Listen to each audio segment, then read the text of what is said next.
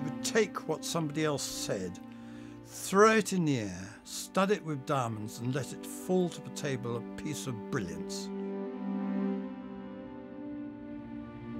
Once a collector, always a collector. You have to keep buying. That's what life is all about, spending money as fast as you can. Oscar Wilde has become an incredible part of my life. It's part of what I do every day. You know, I've become a Wilde collector.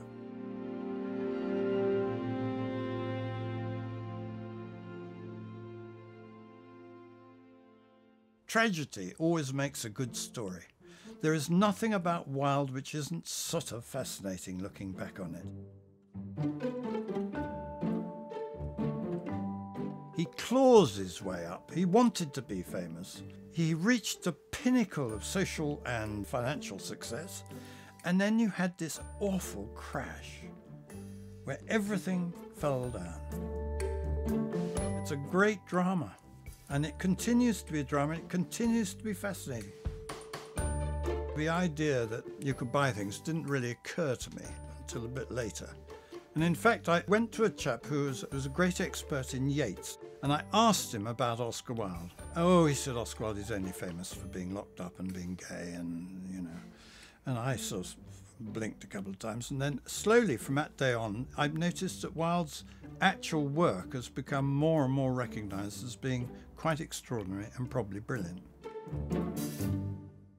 Sarony was the great celebrity photographer. He photographed everybody.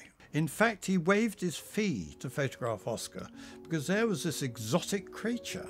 Now, don't forget that Oscar was very little known in England this time, let alone in America.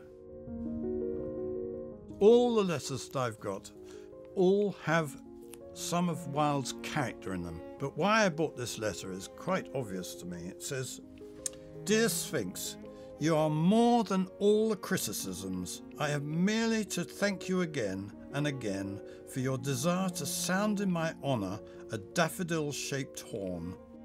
Well, actually, this captures an absolute moment. The importance of being earnest is just played, and it's alarming to think a month later he was in prison. It was an incredible experience which nothing survived of the old Wilde. Because how could you write about such flippant things as fairy stories when you've seen such awful hardship? Why did he not run away? He was given the opportunity, and I've only ever heard one thing which struck me as at all plausible. He was asked in a play by Hare called The Judas Kiss, he's asked why he doesn't flee, and he said, If I run away, the Wilde story is over. If I stay, the story continues.